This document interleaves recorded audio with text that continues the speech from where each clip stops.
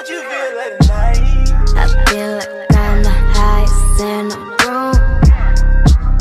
I feel like I could fucking kiss the moon. I see Shotty over there, bitch, looking at me, she kinda cute. I see a nigga over there, he's screaming on up like ramen soup.